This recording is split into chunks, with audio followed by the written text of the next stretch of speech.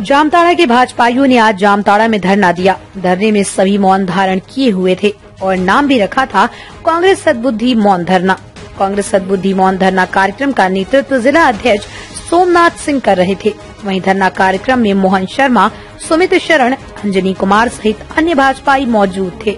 इस अवसर पर जिला अध्यक्ष सोमनाथ सिंह ने कहा कि पंजाब में पीएम की सुरक्षा में चूक नहीं, बल्कि एक साजिश के तहत ये काम किया गया। जिसको लेकर भगवान कांग्रेस को सद्बुद्धि दे, ताकि भविष्य में इस तरह का काम न करें।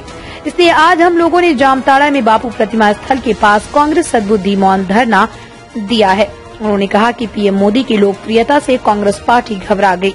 लिहाजा ऐसी हरकत करने पर झुट चुके हैं, जो भाजपा किसी भी कीमत पर बर्दाश्त नहीं करेगी। जामताड़ा से गौतम मंडल की रिपोर्ट।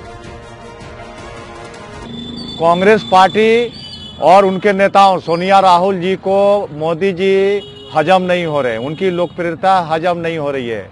इन लोगों ने साजिश करके पंजाब के मुख्यमंत्री को कहते हुए आदरणीय प्रधानमंत्री जी को काफिला को रोकने का प्रयास किया गया और एक सोची समझी साजिश के तहत जो है घटना को अंजाम देने का प्रयास किया गया है।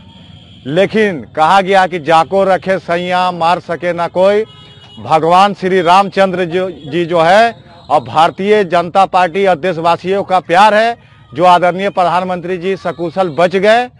और इसी के लिए कांग्रेस का ये जो दोगली नीति है, उसके विरोध में भारतीय जनता पार्टी के द्वारा कल जो है, हम लोगों ने मसाल जुलूस निकाला मोदी जी का जो है लंबी आयु के लिए हम लोग कल जो है महिला मोर्चा के द्वारा जो है महामृत्युंजय जब्त किया गया और भगवान श्री रामचंद्र जी कांग्रेस पार्टी को सद्बुद्धि दे, उनके लोगों का मानसिकता में बदलाव आए और भारतीय जनता पार्टी और प्रधानमंत्री जी का लोकप्रियता से लोग जले नहीं। उसके लिए महात्मा गांधी, जिनके नाम पर इन लोगों ने सत्तर साल तक जो है राजनीति किया है, देश को बांटने का और लोगों को बांटने का काम किया है तो आज हम लोग महात्मा गांधी जी के प्रतिमा के सामने मौन धारण किए हुए हैं। दमदार निर्माण का भरोसा, लाल स्टील टीएमटी बार्स हर निर्माण के लिए उपयोग, लाल स्टील टीएमटी बार्स रिश्ता, मजबूती का।